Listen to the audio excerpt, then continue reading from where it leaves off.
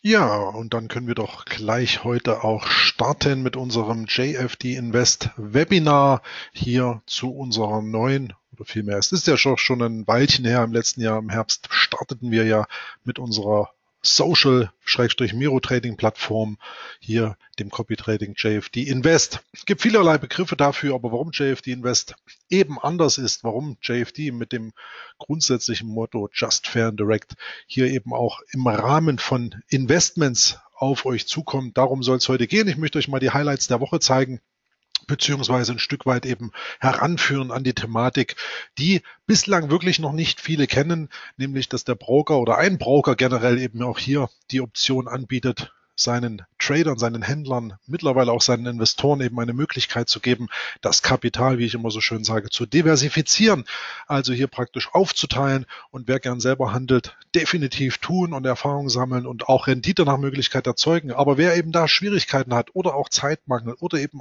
zur Diversifikation schlichtweg da Alternativen sucht, der ist hier bei uns mit JFD Invest Gold, Gold richtig.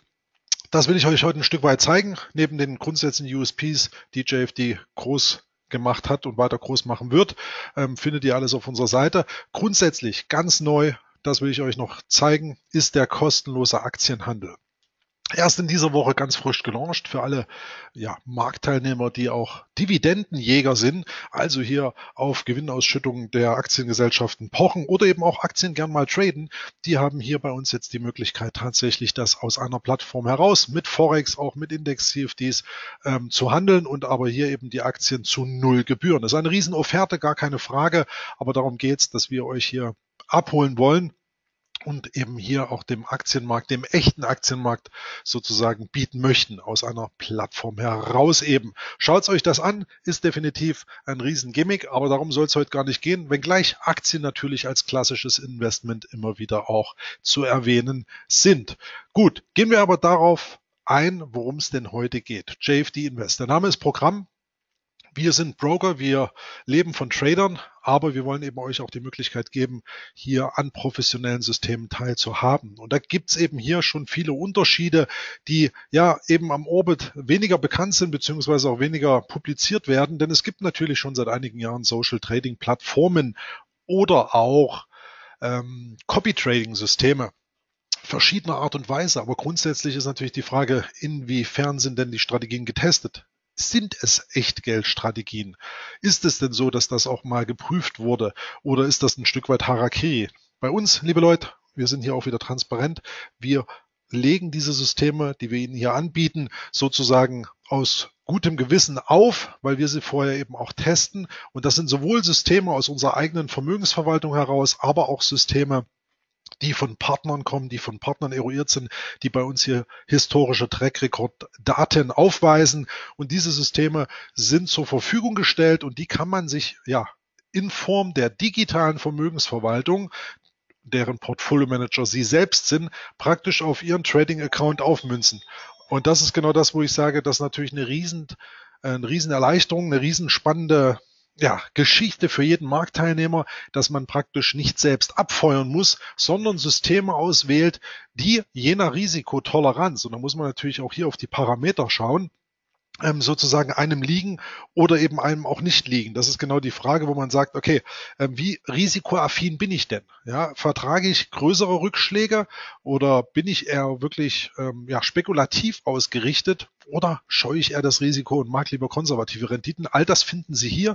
Die Strategien sind im weiteren Wachstum begriffen. Das heißt, ähm, wir sind jetzt schon gut zweistellig und es werden auch mehr. Also Ziel wird schon so in die Richtung 20, 25 Strategien sein die, aus der Sie oder aus denen Sie am Ende des Tages auswählen können.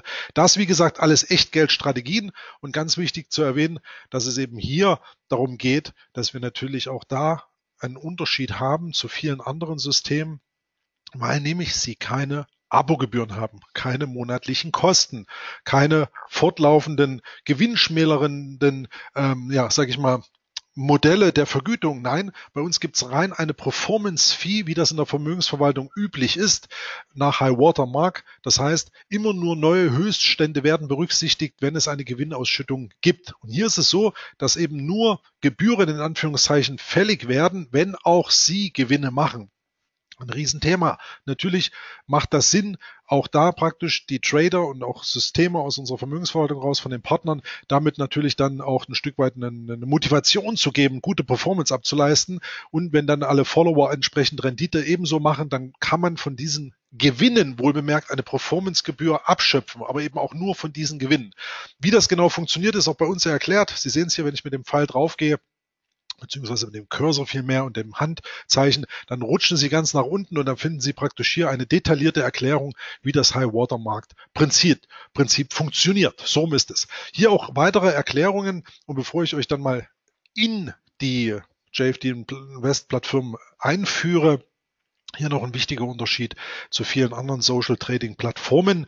Da steht nämlich hier zum Beispiel, wie führe ich eine Bulk Order aus? Was ist eine Bulk Order? Was ist das überhaupt?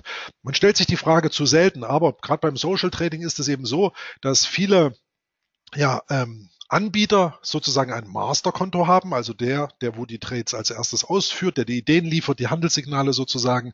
Und dann gibt es die Follower. Und da ist es in der Regel so, dass das natürlich dann Orders sind, die alle der Reihe nach ausgeführt werden. Der Master, der das erste Signal hat, handelt praktisch zu dem Preis, den er haben will. Und dann gibt es alles Reihenorders. Das heißt, die Orders werden Reihe für Reihe nach für nach abgearbeitet. Und dann kann es natürlich sein, wenn man Follower 125 zum Beispiel ist, dass man eine ganz andere Ausführung bekommt als der Master Trader oder der Follower Nummer 3, 4, weil einfach der zeitliche Versatz da ist, weil eben alles reihenmäßig abgearbeitet wird. Bei der Bulk Execution bzw. Bulk Order können Sie im Detail, wie gesagt, auch nochmal nachlesen, ist es so, dass Sie praktisch mit dieser Order Art eine Sammelausführung bekommen. Das heißt, der Master führt genauso zu dem Preis aus wie alle Follower. Es wird eine Bulk Execution, eine gesammelte Order an den Markt gebracht und die praktisch mit einem ähm, mit einem Ticket ausgeführt. Und das, auch das können Sie praktisch hier unten nachlesen. In aller Ruhe nehmen Sie sich ruhig mal die Zeit. Dauert ja keine 20 Minuten, ja, aber da wird das System mal erklärt, wie solche Bulk-Orders, solche zusammengelegten Orders, Schrägstrich Großaufträge funktionieren. Das führt aber natürlich dann am Ende dazu, dass jeder die gleiche Ausführung hat. Wieder fair und transparent und keine Spielchen am Ende des Tages. Ganz, ganz wichtig. Okay, wenn ihr nun hier auf dieser Plattform seid, jetzt einfach mal weiter fortgeführt im Thema, wenn ihr euch sozusagen ein Stück weit hier eingelesen habt, dann ist es möglich, dass ihr auch ohne Registrierung und ohne Konto reinschauen könnt in die Plattform. Das machen wir gleich mal. Aber bevor wir das tun, ist natürlich der Weg des Ganzen mal kurz erklärt. Zunächst können Sie sich als Gast in das JFD Invest Universum ähm, einloggen, ist zu viel gesagt. Vielmehr können Sie dieses einsehen. Wenn Sie das dann in der Tiefe machen wollen, müssten Sie sich registrieren einfach mit den E-Mail-Daten, völlig simpel, registrieren sich mit einem JFD Invest Profil und wenn das gemacht wurde, sind Sie praktisch in dem JFD Invest Universum und können auf mehr Informationen zugreifen. Mal als Beispiel, bevor wir gleich zu den nächsten Schritten gehen. Hier sehen Sie ja die Strategieauswahl. Da können Sie praktisch hier den Namen lesen, die entsprechende Entwicklung. Und wenn wir hier auf Folgen gehen, dann wird aus dem Cursor hier schon wieder ähm, eine Hand. Und wenn wir draufklicken, gehen wir jetzt schon mal als Gast in die JFD Invest Plattform. Whoops. Da sind wir jetzt hier schon bei der hochspekulativen, schrägstrich hochdynamischen Strategie, gar keine Frage, eine außerordentliche Entwicklung. Und hier als Gast sehen Sie oben links sozusagen ein theoretisches Bild, das formiert sich um, wenn Sie sich registrieren. Dann haben Sie eine, Avatar-Möglichkeit, Schrägstrich sind dann mit Ihrem Account registriert, beziehungsweise mit Ihrem Namen und können dann eben auch noch weitere Details sozusagen abfragen, wie das, was Sie als Gast jetzt hier eh schon sehen. Ja, verschiedene Details zum Account, ähm, die Sprache können Sie übrigens dann auch in Deutsch äh, einstellen. Ansonsten hier der Gastzugang erstmal in Englisch. Und hier sehen Sie auch Orders. Sie können sogar bei jeder einzelnen Strategie die laufenden Orders, die geschlossenen Orders sich anschauen und dergleichen. Allerdings müssen Sie dafür eingeloggt sein. Ja, insofern völlig äh, risikolos einfach mal schnuppern. Und wenn man ein Stück weit in die Tiefe will, dann sollte man sich eben doch einloggen. Und das geschieht dann eben genau mit dem Schritt, dass man sich registriert. Da haben Sie sozusagen Ihren Login und gehen in das JFD Universum. Wenn es dann weitergeht, öffnen Sie ein Investkonto. Und das ist ein kleiner Unterschied, den ich Ihnen an dieser Stelle auch nochmal nahelegen will. Denn JFD Invest ist ja praktisch ein Tool, wo ja, professionelle Trader ihre Strategien anbieten. Das heißt, alle Subkonten und Follower haben in dem Zusammenhang auch professionelle Konten. Sie werden es vielleicht mitbekommen haben, äh, zur Mitte des letzten Jahres im August die ESMA-Regeln, die Hebelrestriktionen etc., dass man sozusagen als klassischer Einsteiger im Handel jetzt nicht mehr mit den dreistelligen Hebeln agiert, sondern hier haben die Hebelrestriktionen stattgefunden. Bei JFD Invest ist es nunmehr so, dass sie neben einem möglichen Live-Konto zum Traden eben hier ein Subkonto öffnen äh, müssen. Und das geht aber wirklich ganz, ganz leicht, indem Sie praktisch über MyJFD ein Subkonto eröffnen. Das geht dann auch direkt aus der Plattform heraus und sie eröffnen praktisch ein zweites Handelskonto, was rein dem Investment dient. Hat den Hintergrund, dass dieses Konto ein, äh, einen hohen Hebel genießt, also praktisch unter dem professionellen Status läuft und auch dieses Konto natürlich am Ende des Tages ähm, nicht von Ihnen gehandelt werden kann. Das heißt, Sie können das Konto beschauen, Sie haben einen reinen View, Sie haben eine reine, eine reine äh, Beschaumöglichkeit, können aber keine Orders darin absetzen oder Stopkurse setzen oder eben Einfluss nehmen. Hat natürlich den Hintergrund, dass gerade wenn man die Performance-Fee berechnet, am Ende des Tages natürlich auch hier ähm, die Systeme ins Kalkül nimmt, die natürlich auch offiziell handeln dürfen. Und wenn da jetzt man manuell da man mit rum tradet oder da jetzt Einfluss nimmt, verfälscht das ja sämtliche Ergebnisse. Insofern ist das ein reines Investmentkonto. Da wird Ihr Kapital geswitcht. Auch das können Sie per Mausklick im MyJFD Invest einfach veranlassen praktisch neben Ihrem klassischen Account einen Invest-Account eröffnen, dann das Geld intern transferieren und dann haben Sie praktisch die Möglichkeit, hier mit einer Verknüpfung vom Investmentprofil Nummer eins zu Ihrem Investmentkonto Nummer zwei, dann sozusagen nach erfolgtem Geldtransfer die bevorzugten Strategien auszuwählen. Ja, und da, wie gesagt, können wir Ihnen hier helfen, indem, dass wir, wenn wir jetzt auf Folgen gehen, als Gast sozusagen mal hier in den Zugang reinschnuppern, eben jetzt die Möglichkeit eben auch existiert, dass man sich registriert. Jetzt muss ich mal kurz schauen, wo meine Rec-Data sind.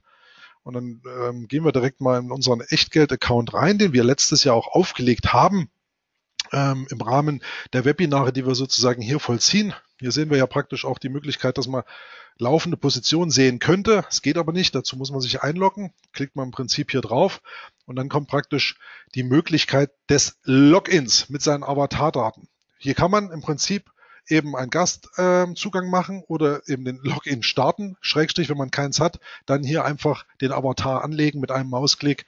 Völlig easy. Entsprechend Terms and Condition akzeptieren und los geht's. Und wenn Sie das vollzogen haben, das Ganze können Sie auch hier schon dann in Deutsch umswitchen, damit das auch alles seine Fairness und äh, Transparenz hat, wenn man der englischen Sprache da, äh, sage ich mal, nicht ganz so hold ist. Ähm, leichte Umstellung möglich. Und dann geht es eben los, dass man sich mit dem Login sozusagen dann im JFD-Universum bewegen kann. So, jetzt gehe ich mal auf die Anmeldung wieder und melde mich jetzt mal hier spontan an mit unserem Account. Da zeige ich Ihnen auch mal, was möglich ist, denn wir haben ja, wie gesagt, letztes Jahr für die Webinare ich und der Dr. Friedrich Kowski, unser Quantmanager, sozusagen ein 10.000 Euro Musterportfolio schon aufgelegt ähm, was jetzt hier auch mal gleich erscheint. Und wir sehen, es ist sehr ansehnlich unterwegs, wohl bemerkt.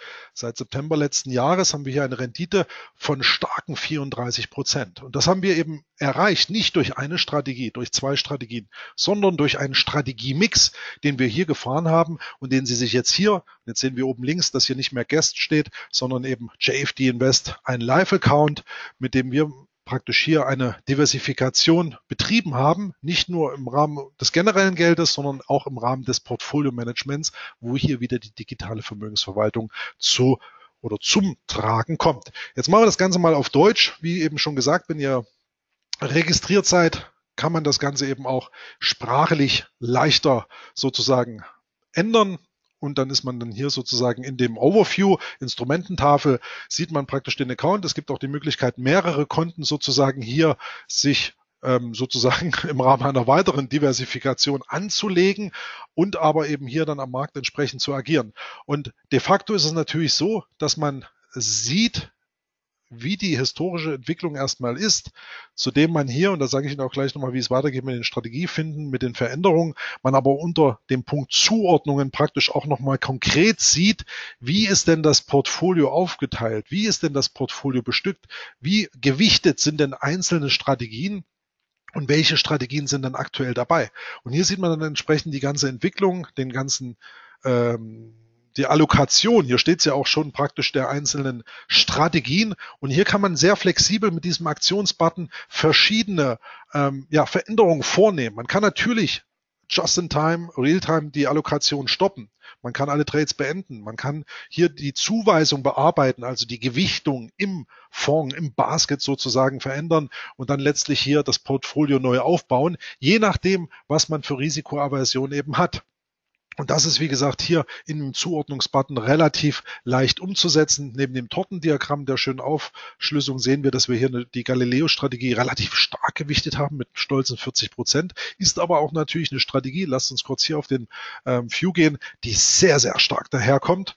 Ähm, natürlich auch eine Schwankung beinhaltet, aber ähm, eben auch wirklich durch Rendite performt. Und das ist natürlich auch ein Punkt, warum ja sich unserer, unser Investment, so will ich es mal viel mehr sagen, eben auch außerordentlich gut entwickelt hat in der Vergangenheit. Nun denn, ähm, wenn Sie frisch hier sind, haben Ihren äh, Account sozusagen angelegt, sich registriert, und jetzt auch noch nicht mal die Verknüpfung ähm, hergestellt. Das sollte aber im Anschluss folgen, dass Sie praktisch mit einem Account sozusagen starten, ähm, der dann dem Zwecke dient, dass Sie das Kapital Schrägstrich, ähm, ja, das Kapital verwalten lassen, sozusagen die Zuordnung bestimmen. Das heißt, hier brauchen Sie natürlich eine Mindesteinlage von 500 Euro. Es macht aber Sinn, hier aufgrund der mehreren Strategien, ja, nicht unbedingt nur 500 Euro zu wählen, weil zum Beispiel die unteren Strategien sind alle solche Strategien, die bereits ab 500 Euro investierbar sind. Nur dann ist man in der einen Strategie drin. Gehen wir dann eben beispielsweise mal hier auf die Goldmine. Da wird praktisch dann die Strategie entsprechend aufgerufen. Dann sehen wir praktisch den Load, die Strategieentwicklung und wir sehen auch, dass es hier gerade ähm, Anfang Dezember, jetzt müssen wir nochmal hochscrollen, einen kleinen Rückschlag gab, in Anführungszeichen klein, der war schon relativ deutlich, der Drawdown. Und da gab es eben den Tiefschlag, der die Strategie sozusagen ja doch schon relativ weit zurückgeführt hat. Und wenn man hier keine Diversifikation hat, eben nur mit einer Strategie zugange ist, kann man natürlich hier auch auf dem richtigen Pfad unterwegs sein, je nachdem, wie die Strategie in der jüngsten Zeit lief. Aber es kann natürlich auch sein, dass es mal eine Schwächephase gibt. Und gerade wenn man hier diversifiziert, mehrere Strategien nimmt mit unterschiedlichen Ausrichtungen, ist es natürlich von Vorteil, dass man da eben auch die, die Kapitalkurve entsprechend klettet. Es gibt aber hier, jetzt sind wir eben in der Strategie Goldmine direkt drin, ähm, die Möglichkeit hier neben der Zusammenfassung über die Strategie selbst hier auf die Angaben zu gehen und da sieht man, welche Mindestanforderungen sozusagen an die Strategie gestellt werden, um diese oder um in diese zu investieren. Also das ist eben eine 500 Euro Strategie, wie die meisten unteren in dem Fall, also die konservativeren Strategien haben eher die Minimumanlage Summe von 500 Euro. Das ist ja auch die Accountgröße, die Sie hier bei uns, wenn Sie auch einen Trading-Account eröffnen wollen, beziehungsweise schon haben, ja mindestens einzahlen müssen, um sozusagen das Ganze aktiv zu gestalten. Aber 500 Euro ist eben auch ein Kapitalstock, mit dem sich jetzt nicht arbeiten lässt. Besser sind schon 5000, noch besser sind 10.000, nach oben kein Limit. Je mehr man natürlich hat, desto besser kann man streuen. Und da kann man, wie gesagt, zur Strategie eben verschiedene Angaben sich aufrufen. Gehen wir nochmal kurz jetzt auf eine andere Strategie, zum Beispiel die Archimedes. Klicken wir auf diese Strategie. Da kommen auch hier praktisch die entsprechenden Strategie Daten und die Strategieentwicklung sehen wir, die läuft relativ smooth seitwärts, aber immer wieder auch mit kleinen Rendite-Kicks. Angaben, Minimum-Investment schon mal 3000 Euro. Das heißt, wenn Sie natürlich hier mit einem 500 Euro Account unterwegs sind, wird das nichts werden. Da müssten Sie zwangsläufig mindestens 3000 äh, Euro Kapital vorhalten. Schräg steht bei 5000 Euro oder 10.000 können Sie natürlich hier dann mit diesen Strategien auch spielen, arbeiten, diese aufteilen. Und darum geht es ja am Ende des Tages, dass man hier mit diesen Strategien ein Stück weit eben Portfolio-Management betreibt, aber ohne dann, wenn man dann die Strategien ausgewählt hat, eben jedes Mal selber den Button drücken zu müssen. Nein, hier sind Sie eben der, der die Strategien festlegt und der Handel erfolgt automatisch. Das ist auch eine Geschichte, wo ich sage, da müssen Sie nicht jeden Tag drauf schauen. Es reicht, wenn man dann hier ähm, einmal die Woche oder alle zwei Wochen oder mindestens einmal im Monat mal schaut und vielleicht auch Strategien raus und reinnimmt und eben schaut, was wir für neue Strategien gelauncht haben, um vielleicht hier einfach das Portfolio mal wieder ein bisschen aufzumischen. Aber grundsätzlich haben Sie hier, wie gesagt, ein Overview über die monatliche Entwicklung, über die totale Entwicklung, hier auch verschiedene, ja, unter Risk und Money Management Gesichtspunkten Parameter, die den einen oder anderen Strategen auch interessieren und hier auch wichtig immer ja auf die Volatilität zu achten. Die Strategien sind natürlich verhältnismäßig von ihrer Renditeentwicklung einerseits in einer gewissen Abhängigkeit oder Unabhängigkeit zu sehen, andererseits natürlich auch von dem äh, Rückschlags- und Renditefaktor. Das heißt, man sollte sich hier wirklich mal die Zeit nehmen und ein Stück weit in die Strategien reinschauen. Und wenn man dann den Overview hat, gibt es eben hier auf der rechten Seite die Möglichkeit, ähm, hier sehen Sie ja schon, dass wir die entsprechenden Strategien schon ähm, ja, bestückt haben in unserem Portfolio. Man kann mit einem Klick die Investition stoppen. Äh, wenn man hier draufklickt, wird man nochmal gefragt, will man es denn wirklich machen? Sobald Sie aufhören, in diesen äh, Fonds zu investieren, wäre eben hier dann praktisch der Fonds getrennt. Ähm, da ist auch nochmal die Strategie selber. Muss man nicht machen, wollen wir nicht machen, weil läuft ja auch im Prinzip ganz gut. Aber wenn Sie eben zum Beispiel jetzt in eine neue Strategie anlegen wollen, dann hier in einem Fonds anlegen, also in Ihrem Basketfonds sozusagen, da könnten Sie jetzt festlegen, wie viel Euro Sie dem Ganzen zuteilen wollen. Ja, jetzt sehen wir hier, das ist eine 3000 Euro Strategie, wird schon schwierig. Wir haben gar nicht mehr so viel Kapital zur Verfügung.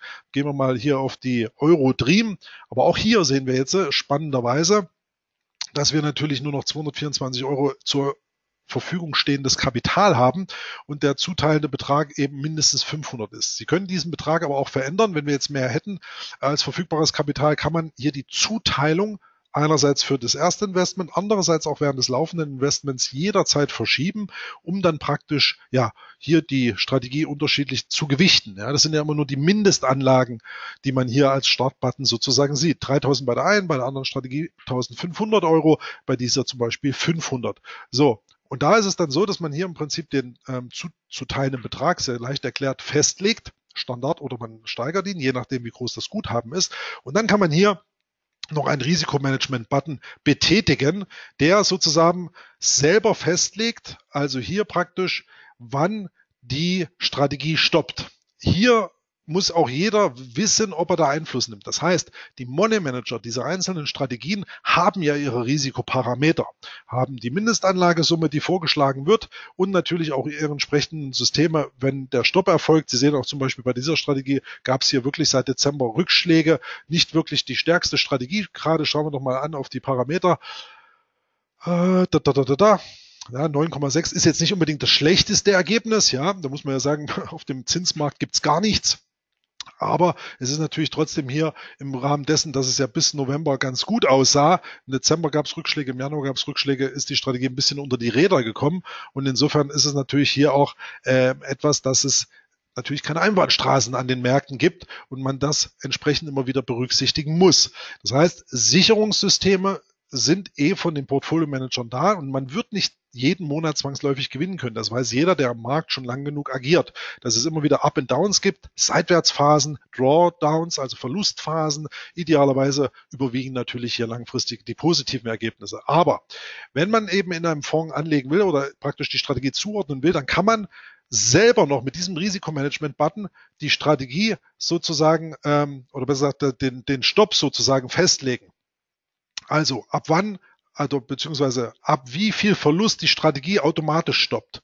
Das heißt, Sie haben hier sozusagen nochmal als Risk Manager die Möglichkeit, über Ihre zum Beispiel jetzt 500 Euro investiertes Kapital, gehen wir hier auf 50 Prozent, das heißt bei 250 Euro ähm, minus würde die Strategie automatisch stoppen. Das heißt, Sie können hier tatsächlich noch ein Stück weit Risiko Management betreiben. Ob man es macht, hm, muss jeder selbst wissen, aber man kann es im Prinzip hier sozusagen dann noch ein Stück weit hochtreiben im Rahmen der Überwachung und auch der, des Risiko, ähm, der Risikobestimmung, der Risikoeinflussnahme, um eben die Risikoparameter noch ein Stück weit zu justieren. Hier gebe ich aber den Tipp, gerade bei Strategien, die hochvolatil sind, ähm, beispielsweise, schauen wir nochmal einfach selber hier drauf, die Strategien haben ja hier deutlich zweistellige ähm, Volatilitätsphasen, das heißt, da ging es ins Minus in diese Richtung. Das heißt, mal minus 20 Prozent muss man durchaus mal ausstehen können.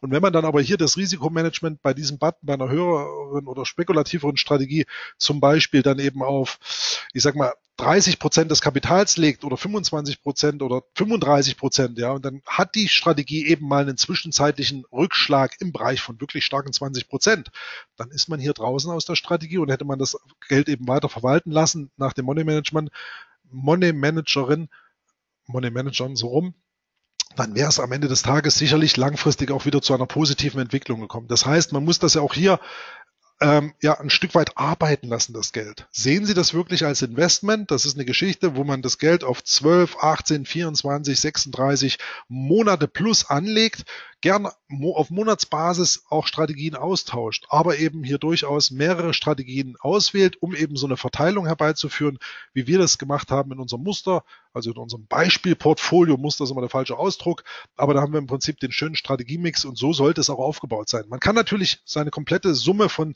10, 11, 15.000 Euro oder 5.000 Euro in eine Strategie stecken, aber da ist eben die Abhängigkeit relativ groß und da ist sicherlich auch hier am Ende des Tages die doch ansehnliche Renditeentwicklung unseres Musterportfolios, also unserer Beispielportfolios hier, was dann eben konkret das erste Mal investiert hat, Ende äh, September, ähm, eben dann doch schon ein anderer Mix. Das heißt, Sie sehen es sehr geradlinig, Sie sehen aber auch, es gab auch Schwächephasen, ja, da haben eben die, sage ich mal, Strategien mit größerer Gewichtung tatsächlich auch mal Verlustmonate erlitten und das ist eben a part of the game. Das heißt, man muss natürlich damit leben und auch damit klarkommen, dass solche Strategien Rücksetzer, Verlustphasen haben. Völlig klar.